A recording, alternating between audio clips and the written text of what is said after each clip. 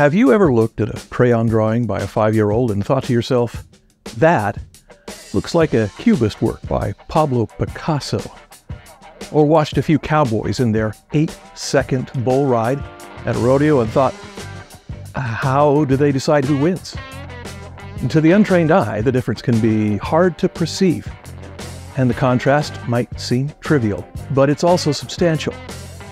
You've probably seen athletic contests where a team wins by a point, and when the athlete wins the race by hundredths of a second. Who wins? Often the disparity between success and failure is so minute as to be almost impossible to perceive. And yet somehow we identify a winner and a loser. A little bit can make a big difference. In 2002, Sir Dave Brailsford became the head of British Cycling. At that time, British Cycling had a 76 year history of marginal performance and during that three quarters of a century, Britain had built a strong reputation for not being, with a few exceptions, the team that took gold. Under Brailsford's leadership, this began to change, and the team began to grab a little more gold here and there on a much more regular basis. And within three years, they went from being a respectable but less than championship participant to winning the Tour de France. What happened? How did Brailsford turn things around and such that a mediocre group of blokes on bikes progressed to become true and legitimate competitors and then went to the top of the cycling throne? Well, in a word, he didn't do much. Just 1%. Brailsford's plan was to pay close attention to what the team was doing, to their equipment, their training regime, their diets, their sleep habits, and every other tiny little thing. Then, identifying where even the smallest of advancements could be made.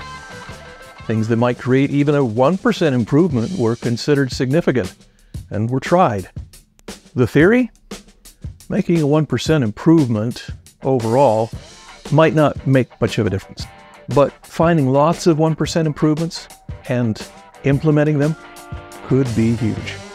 In a sport where fractions of an ounce and less than tenths of a second made the difference between showing up just to compete and winning. From the weight of a bicycle tire being trimmed just a bit to painting the floor of the van that carried the bikes white so the smallest amount of dirt or dust, which might interfere with smooth performance, would be noticed and corrected.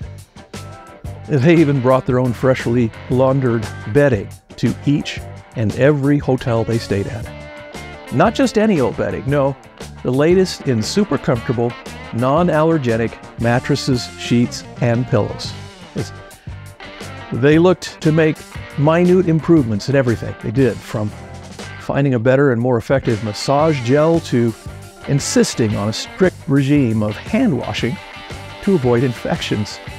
Slight upgrades were made in everything from the ergonomics of their bike seats to the food they ate.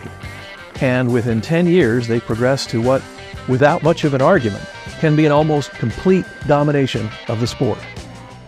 In 2012, the British completely conquered their competition by winning 70% of the Olympic gold medals that were awarded to cyclists. The team began winning the Tour de France on a somewhat regular basis. And then in 2013, with their team gold, it was topped by an individual gold for Chris Froome, a member of their team. This theory of compounding multiple 1% advancements paid off. What's the difference? So here's the ounce. When I look at Vincent van Gogh's famous works like Irises or Wheat Field with Crows, I think I might like the little drawing created by a grandchild and pinned on the fridge better.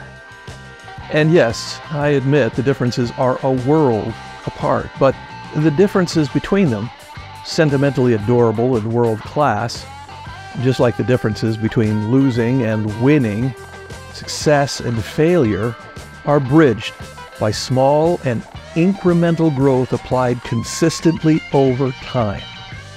It's always going to be possible to do just a little better. And that's it.